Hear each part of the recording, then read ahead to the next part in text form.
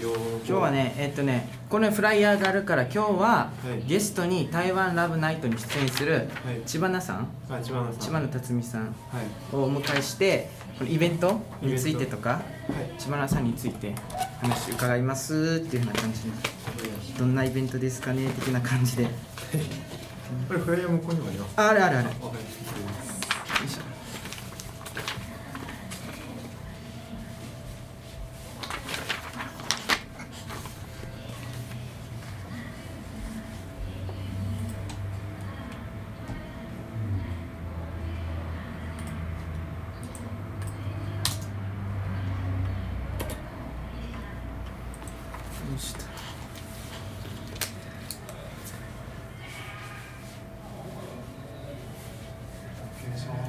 あ、オッケーありがとう。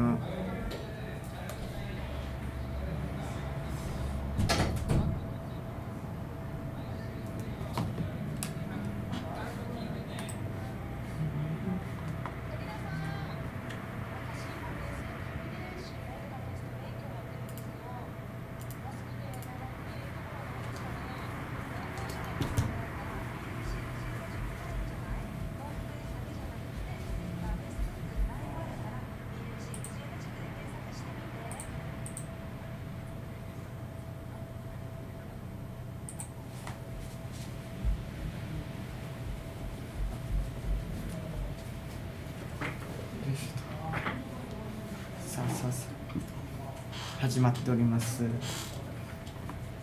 今夜はですね台湾ラブナイトというイベントがですね今週水曜日28日からあるんですけどそのイベントの告知でですね知花辰巳さんというアーティストの方がいらっしゃるんですけどこのどういうイベントなのかっていうことイベントの紹介とかですねまた知花さん自身がどういうふうな感じで台湾と関わっているのかっていうことをですねいろいろお伺いしたいなというふうに思います。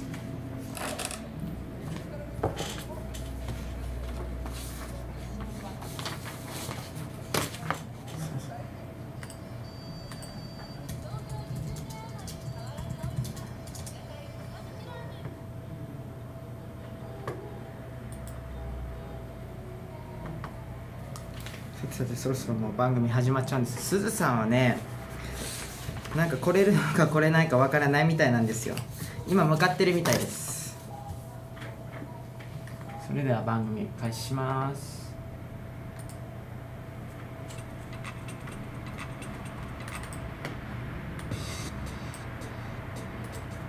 うん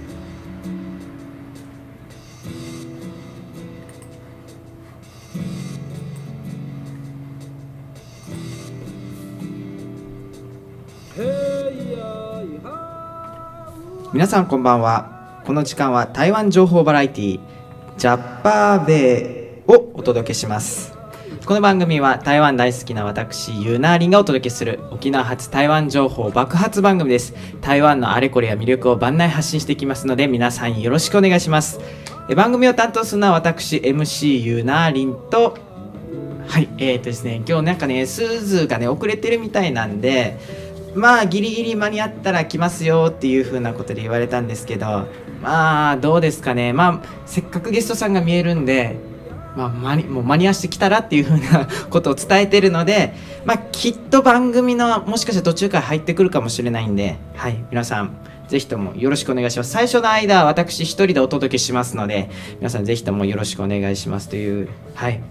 えー毎回ですね番組の冒頭で台湾の天気と今日のレートを紹介してるんですけど本日のですね台湾のレート1ニュー台湾ドルはですね3.205円となっております。前回よりも若干安くなってるみたいなんですけどまあ3点最近だと3.2円をですね行き来してるみたいなんでまあ去年1年前ぐらいに比べたらだいぶ旅行しやすいのかなというふうに思います。それからそれから気になるお天気ですが、まあ、沖縄もね今日ちょっと強風沖縄本島も強風みたいな感じで荒れてるんですけど、まあ、先島の方は暴風域に入ってるだとか入ってないとか目なんですけど今のですね台湾はですね、えー、と今日の18時49分発表のですね新聞記事によりますと、えー台風17号接近台湾本島全域が警戒区域に強風や豪雨の恐れ。で台湾えっとですね、台湾基準で台風17号の接近を受けて中央気象局は26日午後5時30分最新の海上陸上台風警報を発令し台湾本島全域を警戒区域に指定しました。強風や豪雨による注意をするよう呼びかけております。で台風17号は26日午後6時現在東部ファーレン、カレンの東南東約480キロの海上にあって時速21キロで西北西に進んでいます。中心気圧は950ヘクトパスカル。中心付近の最大風速は43メートルで風速13.9メートル以上の範囲は中心から半径250キロとなっております。で台湾への影響が最も大きくなるのは27日から28日早朝にかけてでギラン県イーランやカレン県ファーレンでは24時間の降水量が500ミリ以上になると予想されているというふうな感じでちょっとですね天候が前回の台風でですね台東がですねちょっと農作物とかに被害を受けたみたいなんですけどもまあちょっと台湾に旅行に行こうかなってこの時期考えてた方ももしかしたらいるかもしれないんですけどまあ旅行に行かれた方とか行かれる方はですねちょっと気をつけてくださいね。はい。ではでは本日は先ほどちょっとちらっとあの話の中でも紹介したんですけど今日はですねあのゲストさんをお迎えしております、えっと、今週28日ですね水曜日に台湾ラブナイトという音楽イベントがあるんですけどそれがどういったイベントなのかっていうことをですねあの出演されるアーティストの知花辰巳さんをお迎えしてですねお伺いしたいというふうに思っております。えーこの番組はユーストリームやツイキャスで映像と音声を配信しております、えー FM ギノアのホームページから見ることができますのでそちらもお楽しみください。ツイキャスはツイッターとも連動しておりますのでたくさんのツイートをお待ちしております。ではではですね今日1曲目。もう早速ですね曲をかけたいなというふうに思うんですけど1曲目は何にしようかなというふうに考えたんですけどあの台湾のねニュース情報番組サイトとか見てる方はご存知かもしれないんですけど私がねこの前紹介したアーティストさんがですねちょっとそのお薬お薬って言っても「お」がつくような薬ではないんですけどね悪い薬なんですけどやっちゃってなんかどういう状況に今なってるかわかんないんですけど捕まっちゃったのかなちょっとお薬をねやっちゃってるところが見つかったみたいでちょっと謝罪会見してる映像が載ってたんですけどまあ、アンダーラバーっていうアーティストの一人なんですけどもこのアーティストの曲以前ね、あのーラッパーのユニバーサルブレスさんこと TAKAHIRO さんがね来た時に紹介したんですけど音楽を紹介するコーナーでですね紹介したんですけどそのアンダーラバーっていうアーティストの「チンチンチンメイクイファー」っていう曲えっとですね、えっと、盲目のバラっていう日本語の名前だと盲目のバラってなってたんですけど、この曲に非常に面白くてですね、台湾語のがメインなんですけど、中国語とか台湾語が入ってるラップなんですよ。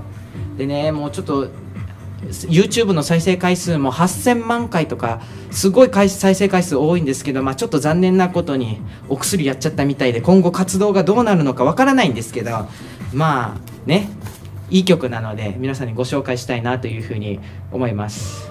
ではでは。それではお届けします。アンダーラバーでチンチンチンメイクイファーです。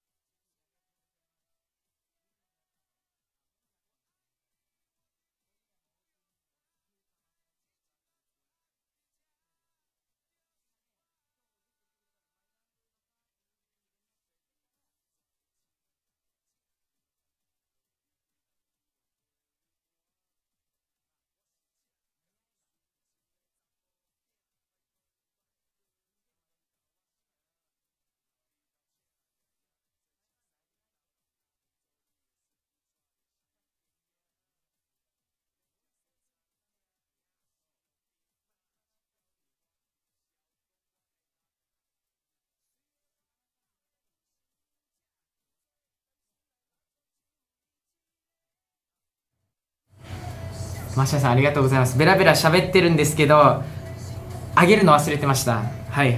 えっとですねもう一回説明しますと本日ゲストに来られるのはあさって28日にですね台湾ラブナイトっていうイベントがあるんですけどそのイベントに出演される千葉な辰巳さんっていう沖縄のアーティストさんをお呼びしてですねどうしてこういうイベントを開催しようと思ったのかとかですねそこら辺についてお話を伺おうかなと。それからあと千葉なさんのね活動台湾とそのどういうふうに関係あるのかとかっていう話をお伺いしようかなと思っております。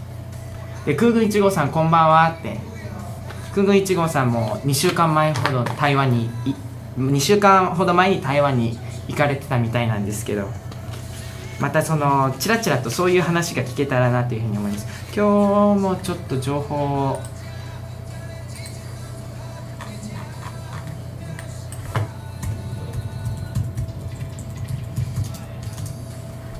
この今流してる歌は非常に面白い歌ですよ。マシャさんが、えー書いてたんですけど「チンチン玫瑰花」です「瑰瑰花」です。あのー、あのー、50音でね「チンチンクイメイクイファー」って書いてあるんですけどまあまあまあまあ、あのー、ひらがなで書いたらそうなるんですけどちょっと中国語風に言うと「チンチンメイクイファー」です。はい。ちょっとラップなんですけど結構面白い音楽だと思います。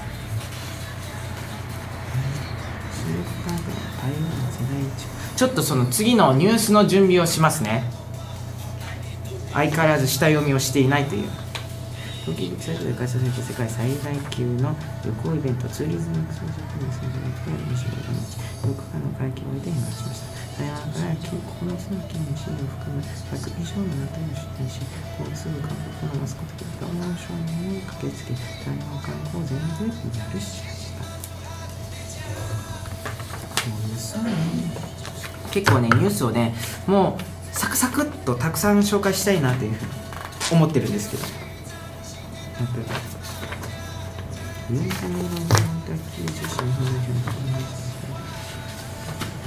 ジャパン人選手が25日ジャパン人選手25日のバタフライショーの世界大会それぞれの報道陣に結婚をしましたジャジ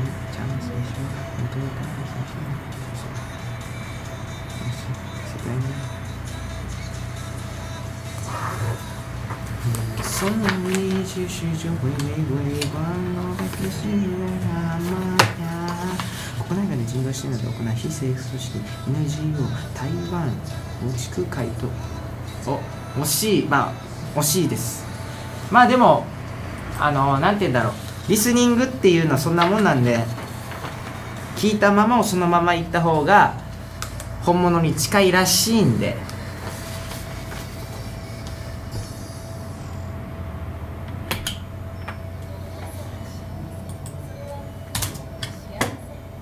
今日はまあもう一人なんで早めにゲストさんを入れようかなと。世論調査に結果しました。それによると蔡総統への満足度は49%で不満と答えた人は43%だったことが分かりました。まあサクサクっと台湾のねニュースを紹介したいなというふうに思うんですけども。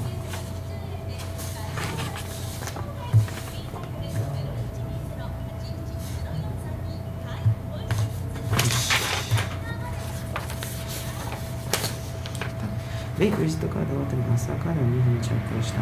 世界の渡航先ランキングで台北が15位に入りました。昨年からワンランク上昇1位はタイのバンコクでした。まあこれ全部見ますか。23日はいえーツイキャスをお聞きの皆さん。ただいま次のコーナーの準備をしております。本当だったらね2人で手分けしたいんですけど今日もニュースは1人でお届けしますね。ちょっと幅広く政治とか経済とか芸能のニュースを織り込みながら今日はですねちょっと他の放送局みたいな感じでちょっと短めのニュースをスパンスパンスパンって数を紹介したいなと思うんですけど。台湾高速鉄道では高速走行中の利益が途切れる状態があるとして顧客改善に踏み出しています。来年度ニュースの配達に関する面接が行われる見通しです。さあそろそろそろそろ CM が開けるんですけど。まあねニュースをサクサクっと。サクサクサクっと。あこれはいいや。さあさあ本番始めたいと思います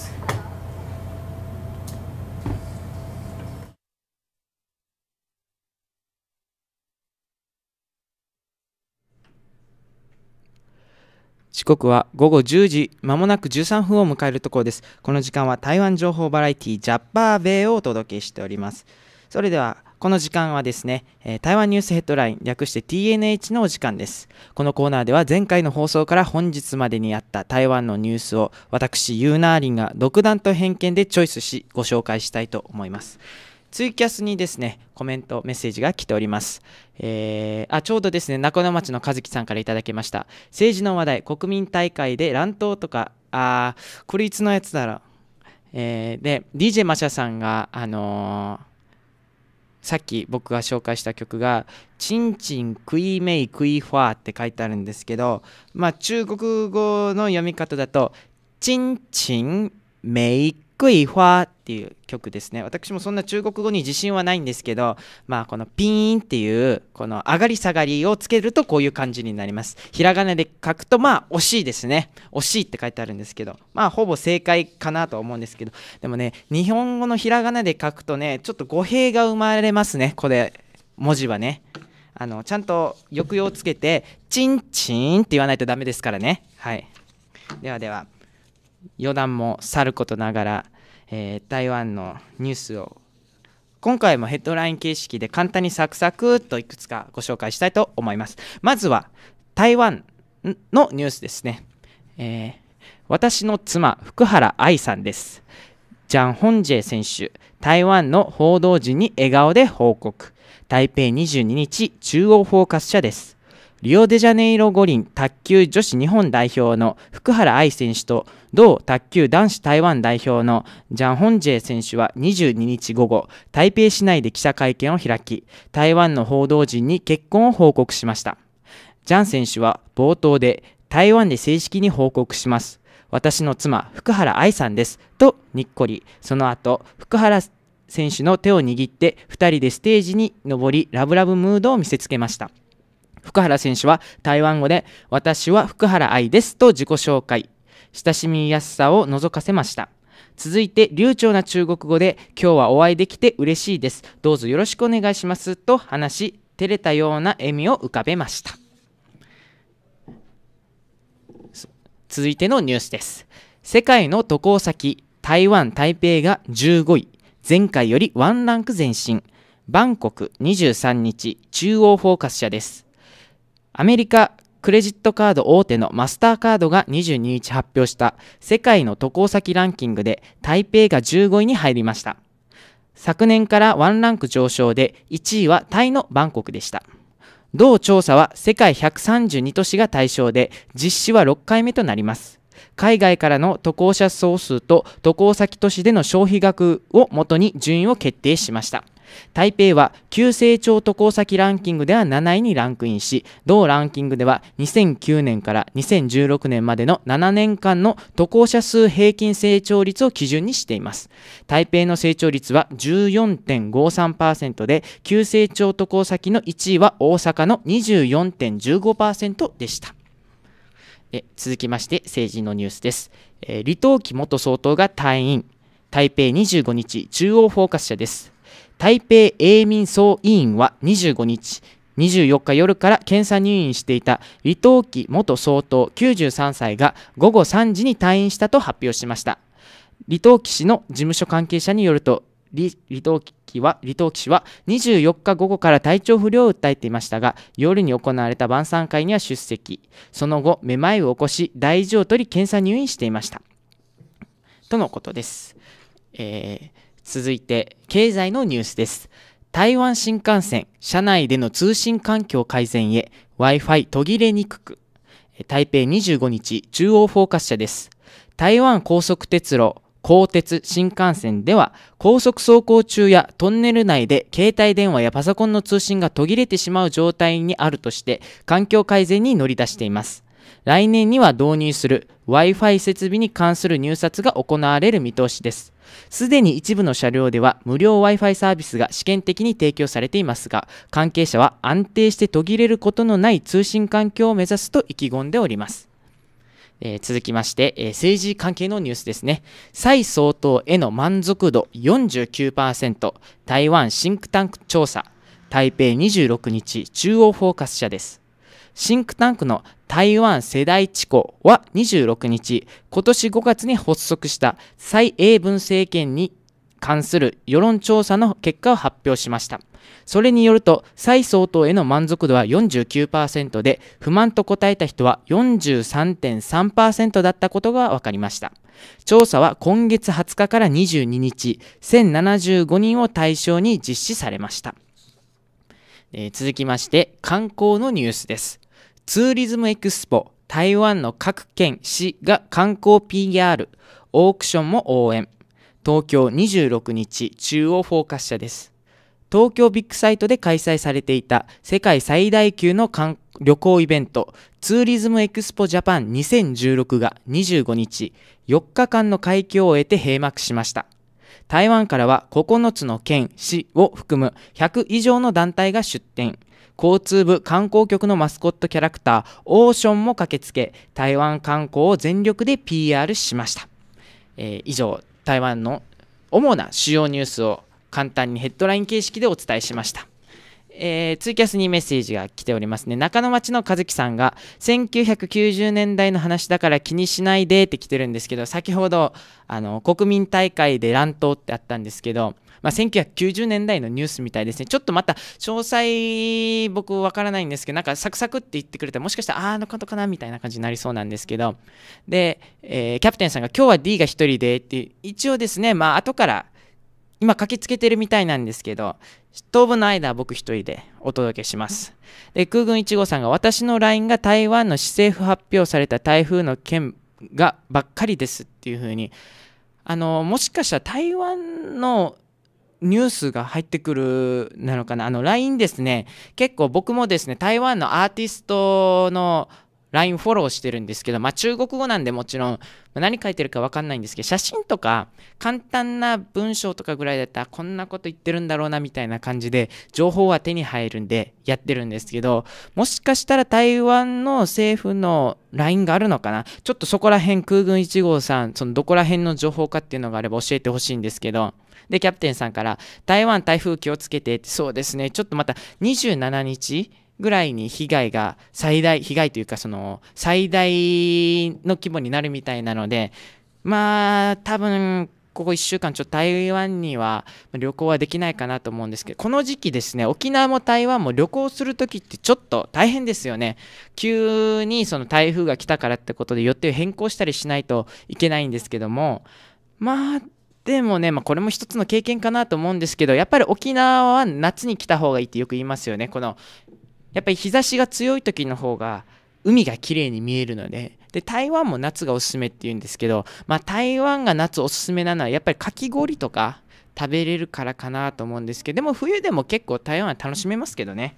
それこそ夜市行ったりとか、できるんで台湾の夏はねジメジメするんで皆さんちょっと行かれる方はですねこのじっとーっとした感じが気をつけたらいいなと思うんですけど何て言うんだろうあのカラッとしてない暑さベトベトした暑さですねあの例えるんだったらちょっとシャワーに入りたいなみたいな感じが台湾の気候となっておりますねで空軍1号さんから LINE は台南桃園ですね桃園新北市高尾、台北、台中のやつですね。政府の正式なやつかな？かもしれないですね。で、吉良さんからですね、台湾のかき氷美味しいらしいですよね。そうです。一回ね、あの、番組でもご紹介したように、あの、シェファーピンとかですね、あと、なん、えっ、とね、えっ、と、雪のシェシェファーピンとあと、もう一つ種類があるんですけど、まあ、かき氷の回がある僕紹介した回があるんでそちらチェックしてみたら、えー2週間前ですねちょうどかき氷について特集やったんでまあ遡っていただければわかるんですけども台湾のかき氷いろいろ種類があっていいですよね。あ台湾のかかき氷って多分これあのーなんだっけなフジテレビのですね番組でやってたやつかもしれないですね。あの一時期なんかその語弊があるだろうとかって言ってこのお店、まあ、台湾から正式に苦情が来てフジテレビが謝ったってやつだったんですけどそれだと思います。それのことを多分おっしゃってるんだと思うんですけど。はい、えー以上ニュースをねサクッと。あそうだそうだ。台湾のニュースは以上ですね。えっ、とこのコーナーですね。まあ僕がね喋ってるところが沖縄っていうことなので沖縄と台湾に関するニュースもご紹介してるんですけど今回はですね沖縄と台湾に関するニュースが3つありますので3つご紹介したいと思います、えーそれでは、えー台湾に伝わる沖縄発祥の水中メガネ今も息づくウミンチュの記憶、えー20日沖縄タイムス。沖縄のウミンチュが使う水中メガネミーカガンが台湾のキールン北部の漁村。八島市にある民間の博物施設。八島市漁村。漁村文物館に展示されています。台湾では日本統治期を中心に糸満など沖縄出身者が漁業を行っており同施設代表の周君シャンさんは八島市は漁民八島市の漁民は沖縄の漁民からミーカガンのことを教わったと話しております。えー、周さんによると八島市の人々は社両島現在のキールン市の島、えー和平島を拠点とする舵切り舵企業の船に乗り込むなどしていたことから和平島は沖縄漁民と知り合いミーカガンの作り方やミーカガンを使った素潜り漁を教わりました、えー同施設には漁漁師から寄贈を受けた複数のミーカガンを収蔵しており頭に固定するバンドに自転車のチューブを使用したものなどがあります。周さんは八島市の漁民には100年の歴史があるが、農業や工業、商業に比べ記録は少ない。漁業に関する文学資料も集め、漁村の豊かさを広く伝えたいと話しております。で、それから、えー沖縄のイベント、台湾ファミマで券売、予想以上の売り上げ、24日、沖縄タイムスです。沖縄ファミリーマートは台湾ファミリーマートで沖縄県内イベントのチケットを売り出しています。4月に宜野湾市であった花火大会の琉球開園祭は発売期間1ヶ月間で目標100枚を上回る493枚を販売しました。3000店舗に上る台湾ファミリーマートの情報発信力を生かし、県内観光施設の入場券などに取り扱いを広げ、観光誘客にもつなげつなげる予定です。で、それから、えー日本統治の名残、台湾の観光スポットで琉球末ピンチ、えー26日、えー沖縄タイムスです。台湾の花蓮市荘園街の小高い丘でひときわ目立っていた樹齢100年クラスの琉球松群が年々減少しており訪れる市民や観光客が何か良作はないものかと心配しています。日本の統治時代台湾に林業を広めようと自然環境や土質が似ている沖縄から塩害と風に強い琉球松の養木を移入し花蓮市の小高い丘海岸沿いに植林しました。海岸沿いでは根付かなかったものの小高い丘では樹齢100年の古木に育ち約100本が残りました。現在一帯は花蓮市が売り込む観光スポットとなり中国から観光客地元の若い人々のデート場所となっています。琉球松群が遺跡と一体となって静かな雰囲気を醸し出し多くの人々が訪れています。というふうにありますね。まあ以上。沖縄と台湾に関するニュース3つ紹介したんですけど僕がね気になったのが沖縄のイベントが台湾ファミマで券売してるみたいなんですけどもこのイベントまあ特に宜野湾市4月にあった琉球開園祭のイベントもですね台湾でチケット販売したみたいなんですけど、まあ、その影響かどうか知らない、まあ、知らないってことはないですけど多分絶対その影響だと思うんですけど結構ね琉球開園祭の中継をですね FM ギノワンでもやったんですけどその時に結構台湾人の観光客が多かったなっていうふうに僕は感じたんですけどやっぱりそういうことが裏にあったんだなと。そうですね。今後もですねあの結構沖縄イベントあるじゃないですか。まあ、そのイベントがですね台湾でも、まあ、逆もちょっとやってほしいなと思うんですけど特に台湾のイベントとかでも沖縄ファミリーマートでも売ってくれたら今度は沖縄から台湾に行く人が増えるんじゃないかなというふうに思います。まあそうこうしてるうちにはいあの到着しました。どうぞ。はいはいえー、最初の間一人でお届けしてましたけどアシスタント到着です。はい。自己紹介。もう一度最初からお願いします。もう一度？はい。話終わってからでいいですよ。あもう終わりました。鈴です。はい 遅れながら本日も遅れながら登場ですすいません遅れて。はいまあ以上ニュース紹介しましたはい。じゃあ CM を挟んでいよいよ本日のゲストさんに登場していただきたいと思いますじゃあそれでは一旦 CM をお届けします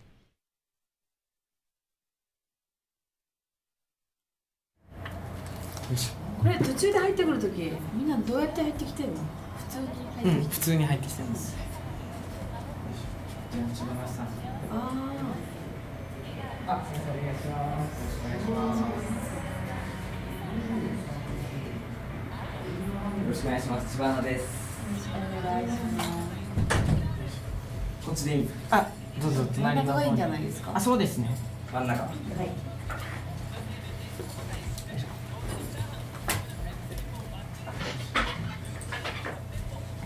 今日この前に見せたんです。このイベントの。あじゃあ CD お借りしてもいいですかはい。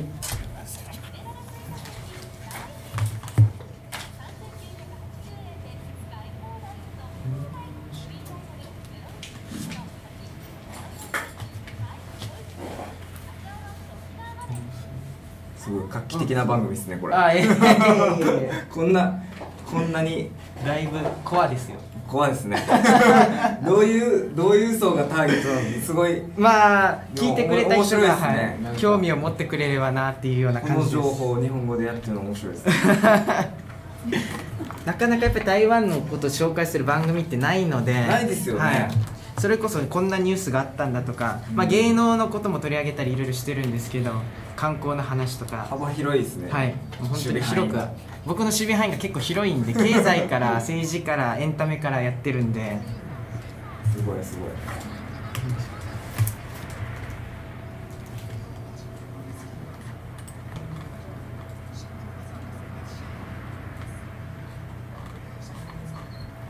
普通の普通ので一緒に行きましょちょっと寄ります？なんか見切れて。5秒前。4 3 2 1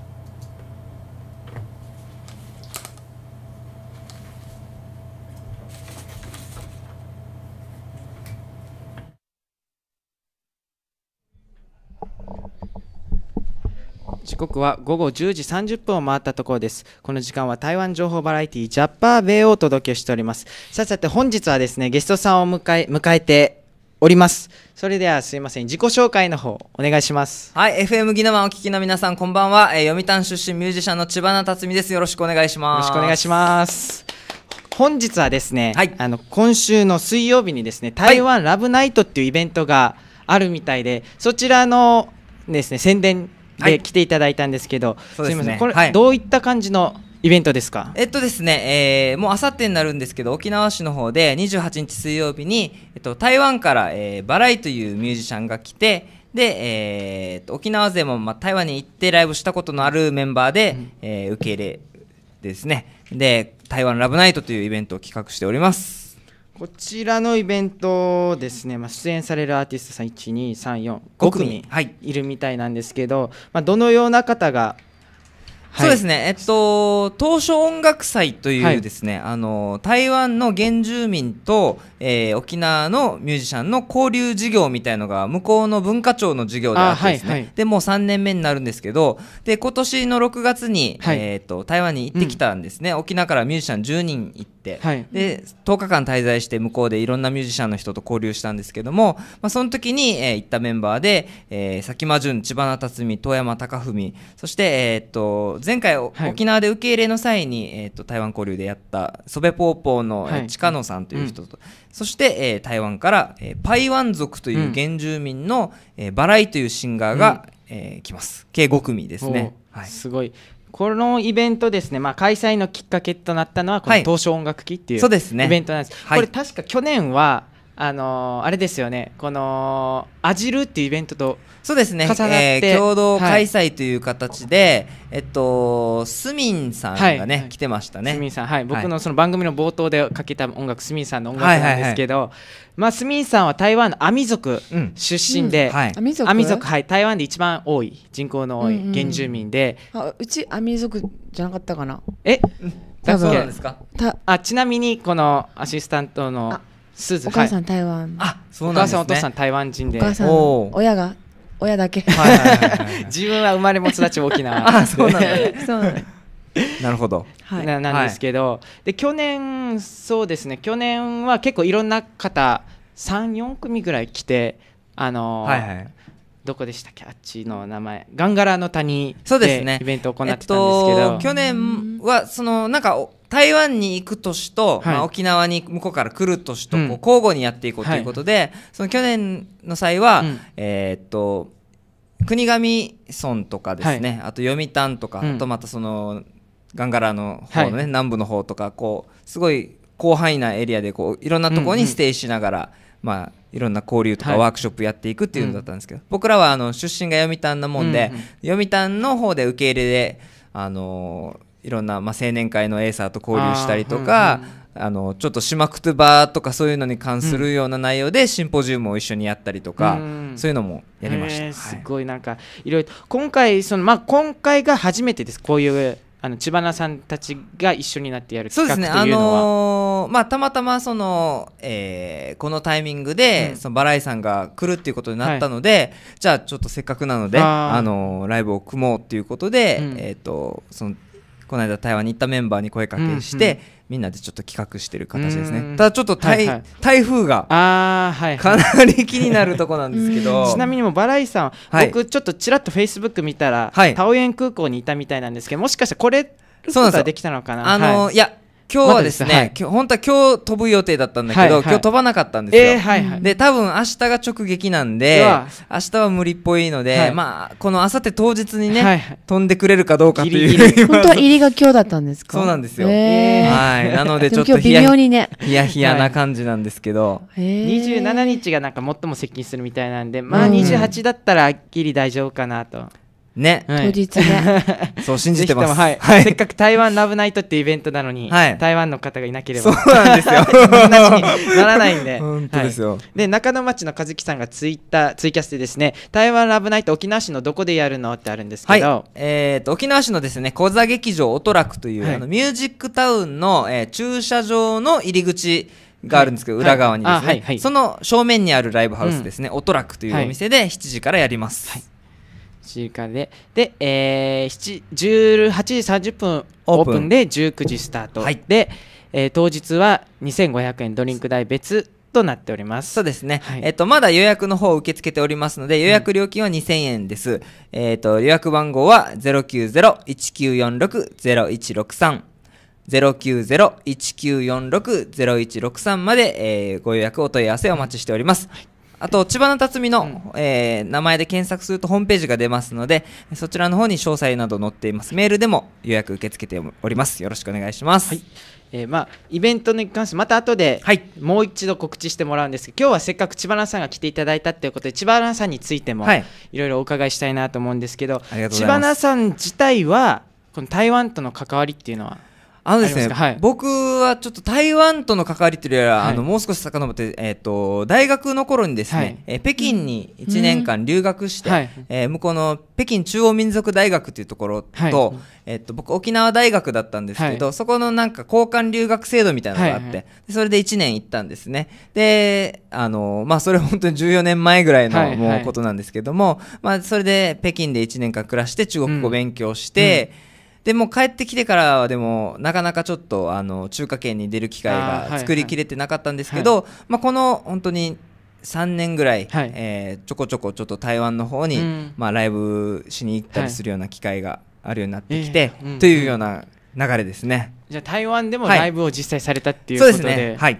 最初やった時どんな感じでした？その反応だったりとか。あのー前最初にやったライブはですね、はい。うん。えっ、と台湾の、うん。えー沖縄料理屋はいはい。とか、あの沖縄雑貨店みたいのをやってる人たちが、えー企画してるイベントで、はい。台北のなんか花博公園みたいなところで、はいはい。あのーやってるその沖縄フェアみたいな、はいはい。物産フェアみたいなはいはい。ののステージだったんですよ、はい。なのでまあ割ともう本当に沖縄のことを知ってるもういやささって言ったらはい。やって帰ってくるような状態のライブだったんですへね日本語で？うん、日本語結で。構、はい。ああの歌ってる時も日本語なんですか？えっと、この MC は頑張って、あの、中中国語でうん。うんうん言いました。そう花花ああっちかな？あのでっかい建物とかあるところですなんかね、あの、はい。フードコートがすごい広かったので、はいはい。ちょっとそのエリアの中までは入らなかったんですけど、そのフードコートの中のステージでやりましたね。なるほど。最近だとまたなんかちょっと沖縄な例えばオリオンビールさんとか結構台湾に出やてて、まあ沖縄のもうその沖縄県もその台湾の事務所構えたりとかっていう感じで結構沖縄台湾との交流盛んになってきてるなっていうふうに思って僕も2年前かな台湾行った時にそれこそコンビニにオリオンビールの旗が立ってたのを見てうん。あこんなところにあるんだとかって。コンビニに？うんセブンイレブン？セセブンイレブンとかにあったりとか、で結構沖縄の、まあ台えー三越台北駅の前に三越があって、そこにも沖縄物産店みたいにちっちゃい一ブースができてる。ブースみたいなのがあって、お店ショップがあってで友達にあなんだじゃあお土産買ってこなくてもよかったじゃんみたいな話をしたのを覚えてて結構沖縄と台湾の交流盛んになってるなと思って、うん。でそれこそこういうイベントとかでの交流も盛んになってきてだんだんいいことだなっていうふうに思ってるんですけどでもそれでもやっぱりまだ台湾に関する知識っていうかことっていうのはあんまり知られてなくて、うんまあそういうのもあって僕こうやって番組やってるんですけど、やっぱりそのなんて言うんだろうな。こういうきっかけになってほしいなと思ってやってるんですけどやっぱり千葉さんもそういう感じですかね？そうですね、まあ、あの僕はもう台湾っていうあのピンポイントっていうよりは、はどちらかというとその、まあ、中国語を生かして、はい。まあ、アジアにこうどんどん音楽でこう出ていきたいなっていうのがもともとその目標として、うん。まあ、ずっとあってで、まあ、そのためにこういろいろなですね、はい。あの積み重ねを、まあ、やってきたんですけど、はい。はその中ですごく台湾やっぱりうん。行きやすいし、はい。うんで今すごいなんか来てるっていうかもう流れが、かなりなんかそのみんな今もう台湾との行き来すごいので、向こうからも来るしねどんどんね、ですねはい。最近暑いですよね。暑いですよね。うん。うん。なんかすごい追い風感があるんですよ台湾、はいはい。確かに。だからすごい今ちょっと力入れはてい。やりたいなという思ってますね、なるほど、はい、という風な感じでやってるんですけど、はい。まあ、せっかくなんで今日千葉さんお越しいただいたんで千葉さんの曲も紹介したいなと思うんですけど、そもそも千葉さんどういった感じの音楽活動をされてるんですか？はい、えっとですね、もともとミクスチャーというジャンルで、はい。まあ、あの、ロックにいろんな、あの、ラップ、レゲエとかいろんなジャンルの音楽を混ぜてっていうのでやってるんですけど、今回、えっと、8月にですね、えーニューシングル、海なりの島という曲が出まして、えーそれはちょっとラテン調のテイストのサウンドに、えー歌詞が内縄口というですね、うん。うんえー面白いですね。曲になっています。えーじゃあじゃあ早速曲聴いてもらおうかなと思うんですけどははい、はいぜひよろしくお願いします。えーじゃあすみませんもう一回曲紹介お願いしてもい、しいです千葉な辰巳ニューシングル、えーただいま沖縄中の CD 屋さんに並んでます。聴いてください。海なりの島。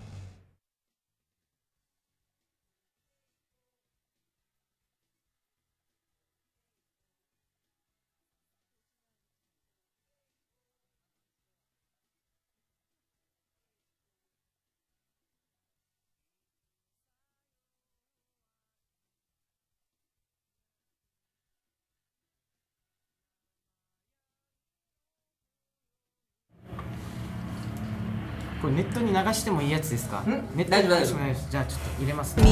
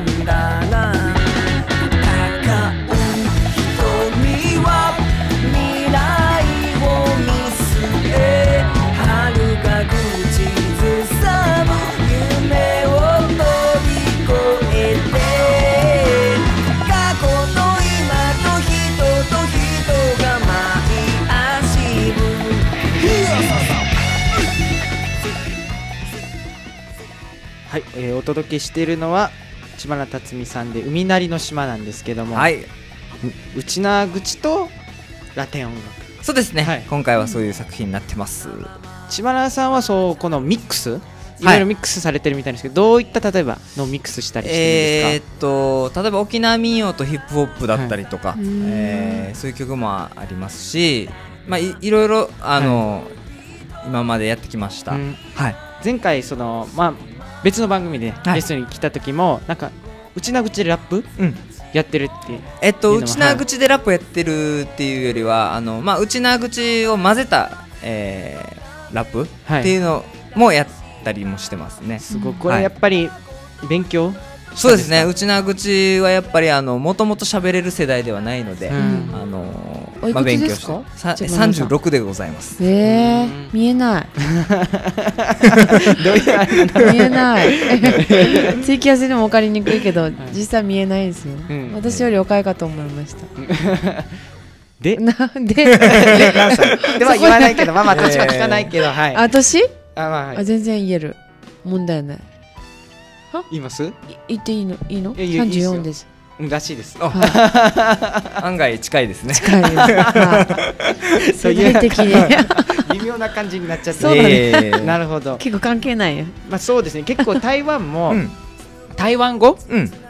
がちょうどその世代的に喋れない世代が増えてきてるみたいででもそのさっき僕があのオープニング1曲目で紹介した曲も、うん。台湾語のラップなんですよ、意外にそうサビが中国語だったね。そうですね。中国語と台湾語が入ってて、僕も最初はい聞いた時に、あれこれ中国語あれでもこっち台湾語だみたいななるほど。不思議な感じでやっぱりそういう風な言葉遊びではないんですけど、うん。台湾語をうまく取り入れた音楽だったりとか、うんうん結構今までの台湾語のイメージって言ったらそれこそ沖縄の民謡みたいな感じ古臭いイメージがあったんですけどこう若者とかが台湾語を使ってる感じで、うん。だから同じような感じで沖縄の若い人とかがこう内縄口を使った音楽を作ってるっていうのはまたいいことだなって僕はうん。思ってますね。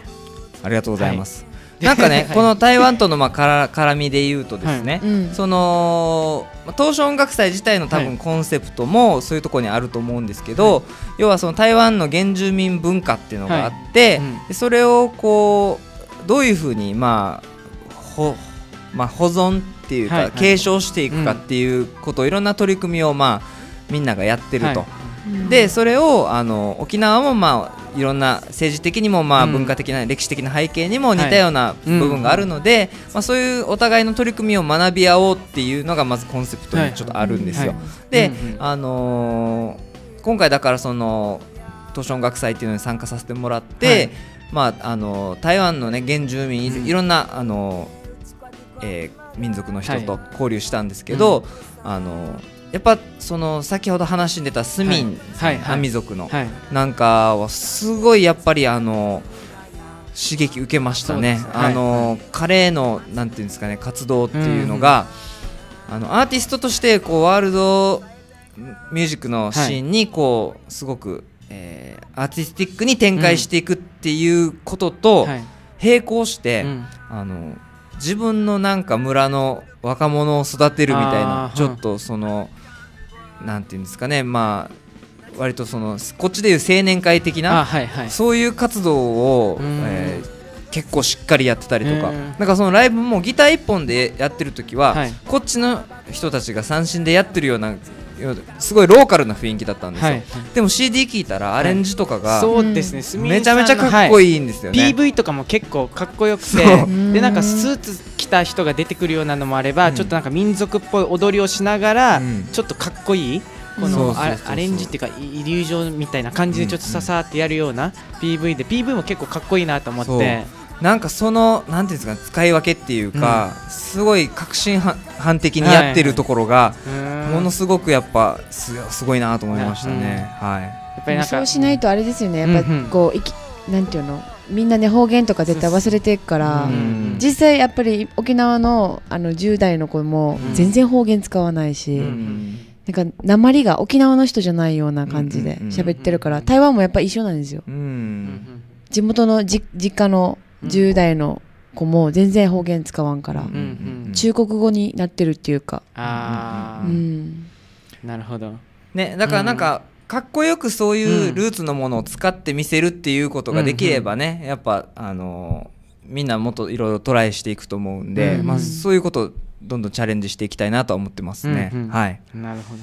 じゃあその紹介紹介にまあスミンさんではないんですけど今回も原住民のですね、はい。バライさん今回はいですね、やってるんですけどちょっとバライ、えーちょっと今紹介したいんですけども、えーまあ、東証音楽祭で出会ってでバライ自体はですね、えー高尾で生まれ育ったはい。台湾族ということで、あのー彼ですね、はい。今すごいホットなんですけども、はい。えー台湾の、まあ、グラミー賞と呼ばれるはい。金曲賞というですね、アワーミュージックアワードで、えー原住民部門があるんですけどね、はいはい。その原住民部門で今年の、えー最優秀原住民歌手賞っていう、まあうんうんうん新人賞的なやつをこう受賞して、はい。あのバーンと今シーンにちょっと出てきて大注目みたいな存在になってるんですよ、はい。なんかすごい引っ張りだこで、あのテレビとかライブとはい。かすごい今あのやってて、うん。あのもちろんそこまでの、ね、積み重ねがあったんですけどそれが今年今年すごく、まあ、注目されてですね、えーそのアワードとまた別に、えーインディーズミュージック大賞みたいなやつでも、はい。えー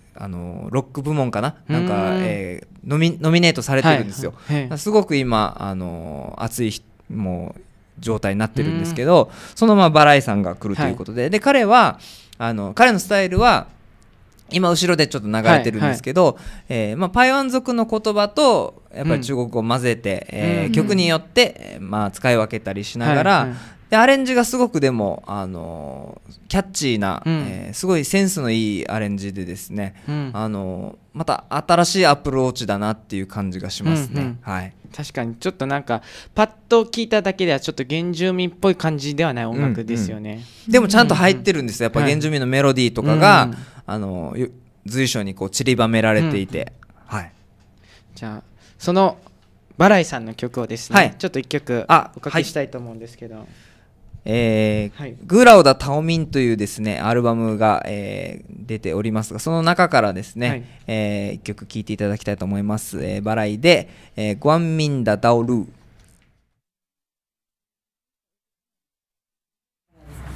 おいくつなんですか？誰ですか？はい。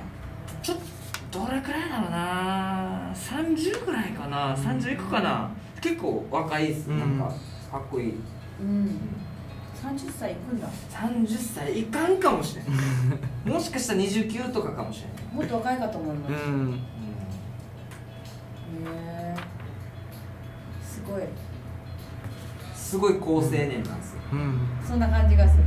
もうなんか、写真まだけど、なんていうのかな。なんか真面目でいいやつみたいな、うん。日本語喋れるの？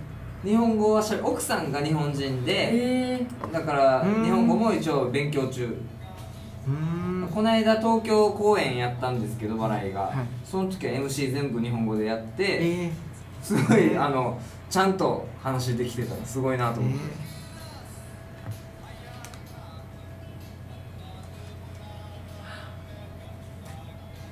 言葉の語尾が民族っぽい。うんうん。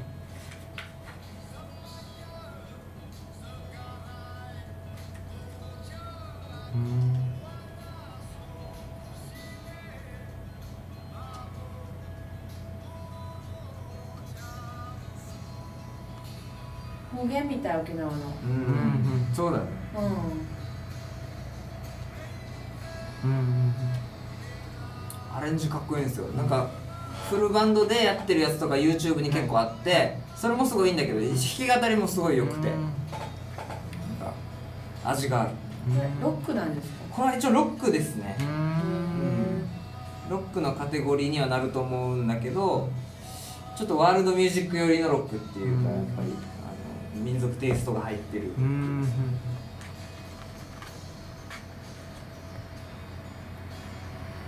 じゃあそろそろ BGM にしてはい。喋り入れますね。うんなんかかっこいい感じのメロディーですしそのなんていうんだろうな。まあ今はちょっと静かな感じになってるんですけど、ちょっとロックっぽいそうなんですよ。感じの。はい。うん、あの僕あの原住民の歌を集めた CD 持ってるんですよ、おー。台湾の原住民の。あるんですけど、ね。でもやっぱりちょっとなんか眠くなるんですよ、うん。メロディーとか古くて。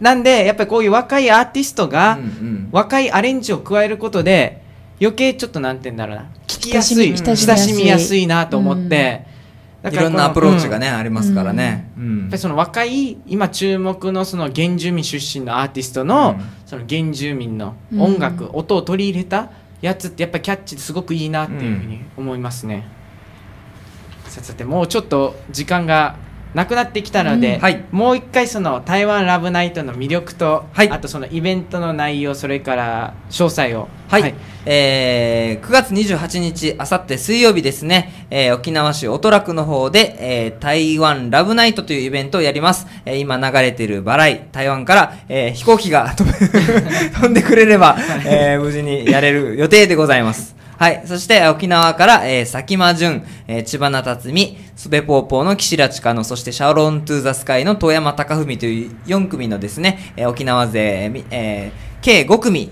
のアーティストが弾き語りで、えーこの日は、えーすごく、まあ、ゆっくりした形でですね、えーいい歌の夜を過ごせるはい内容になっております。えーぜひ遊びに来てください。えー18時オー、18時半オープン、19時スタート。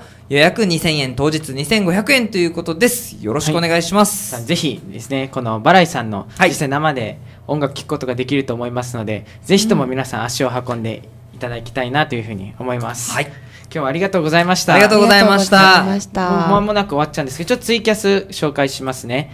えー、と野の中の銀の蛍さんがゲストさん千葉なさんがやっている楽器はベルリラですかって来てるんですけど。ベルリラって何ですかね？僕ちょっと、ベルリラっていうのがごめんなさい、わからなくベルて。リラ。返信がないですね、うん、で、えー、中野町の和樹さんから「東証音楽機どんな字を書くの?」っていうえっとね、どこれ島とあの初頭のはい、初章ですね。頭の章にはい。東証音楽機はい。ですね、で「お」三金の一つかってそのこの金曲賞。あーなるほど。金華賞とかあはいはいはいはいはい。るんですけどはい一つですね。なるほど。はい。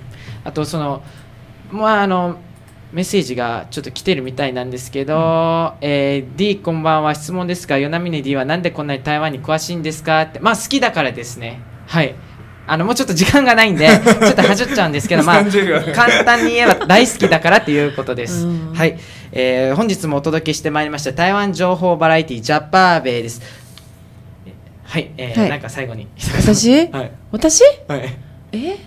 最後に？はい、もう時間がないから。はえー、じゃあまた来週ということで。また来週。わかりました。じゃあ皆さんまた来週もはぜひお聞きください。はい。えーそれではまた来週。さよなら。はい再ぜひ见いてくださいありがとうございます。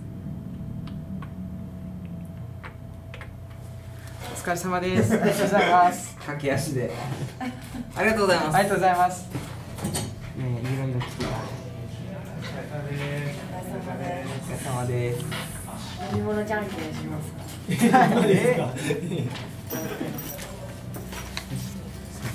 ありがとうございますあありがとうございます